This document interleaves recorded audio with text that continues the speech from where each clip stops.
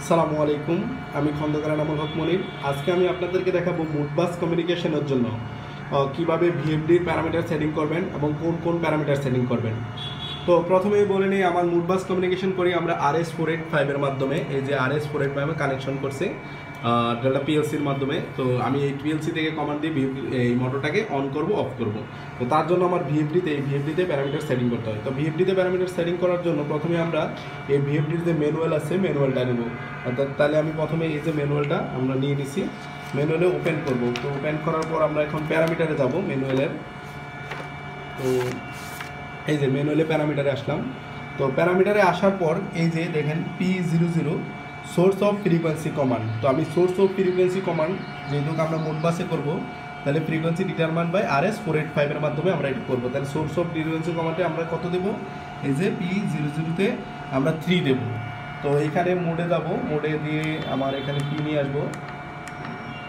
তো P P P zero জিরোতে গেলাম। যাওয়ার পরে এখানে আমি P zero zero three select করব। তো আমি থ্রি সিলেক্ট করে দিচ্ছি। এন্টার দিয়ে থ্রি দিয়ে আছে অলরেডি তো থ্রি থ্রি সিলেক্ট করে দিলাম। তারপর আমি source of operation command operation কমান্ডটা এখান থেকে দেবো পি জিরো ওয়ানে গিয়ে আমি এখানে operation determine by R S four eight five communication করব। অর্থাৎ আমি এটা অপারেশন করব সেই আর এস ফোর এইট ফাইভের মাধ্যমে তো আমাকে এখানে পি ওয়ানে গিয়ে এন্টার দেবো। দেওয়ার পর এখানে আমি থ্রি সিলেক্ট করে দেবো। এন্টার দিয়ে সিলেক্ট করে দিলাম। তারপর আমাকে সিলেক্ট করতে হবে যে পিআর অষ্টআশি, অর্থাৎ কমিউনিকেশন অ্যাড্রেস যে অ্যাড্রেসটা দেবো, সেই অ্যাড্রেসটা আমি এখান থেকে সিলেক্ট করে দেবো। তো পিআর অষ্টআশিতে গিয়ে আমি, তাহলে এখান থেকে আমি পিআর অষ্টআশিতে যাব।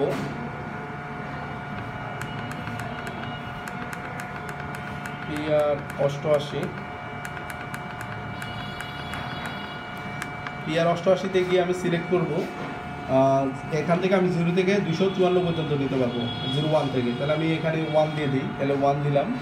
এন্টার তারপর দেখেন ট্রান্সমিশন স্পিড আমার ডাটাটা কী পরিমাণ স্পিডে ট্রান্সমিট করবে? P R eight nine transmission তাহলে আমি এইট নাইনে যাব এইট নাইনে গেলাম দেন এন্টার দিলাম। এন্টার দেওয়ার পর আমাকে এখানে ছিয়ানব্বই সব বিপিএস স্পিডে সেট করে দিলাম। তাহলে ওয়ান দিলাম ওয়ান এন্টার তারপর যাব টাইম আউট অর্থাৎ কী পরিমাণ সময়ের জন্য আমার ডাটাটা ট্রান্সমিট করবে? তো এখানে ওয়ান থেকে একশো বিশ সেকেন্ড পর্যন্ত নিতে পারব। তো এটা অনেক জায়গায় দেওয়া থাকে, একশো থেকে দুশো পর্যন্ত। তো আমি এখানে ওয়ান দিই। পিআর নাইনটি ওয়ান দেন আমি নাইনটি ওয়ানে যাব। জিরো ওয়ান দিয়ে দিলাম। তার মানে একশো বিশ সেকেন্ড পর্যন্ত হবে। এন্টার দিলাম।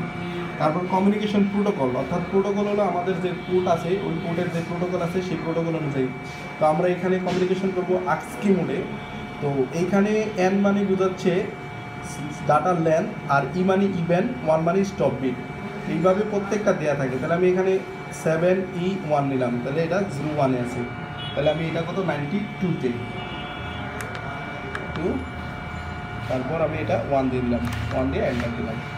ওকে আমার মোট বাসের প্যারামিটার রেডি তারপরে আরেকটা প্যারামিটার আছে কমিউনিকেশন এই যে কমিউনিকেশন মুড সিলেকশন কোন মুডে আমি এটাকে রান করব? তো আমি এটা তো একটা আছে ডেল্টা আসছি আরেকটা হলো মুড বাস তো আমি এখানে মুড বাস করব।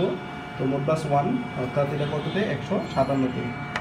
তাহলে আমি একশো সাতান্নতে চলে যাচ্ছি।